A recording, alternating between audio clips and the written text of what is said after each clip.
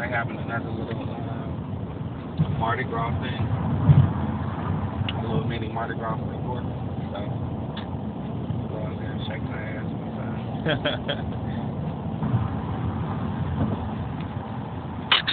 Shut my TV some Jerry B. You know. oh yeah. B. Oh, what time is it? It's fucking traffic.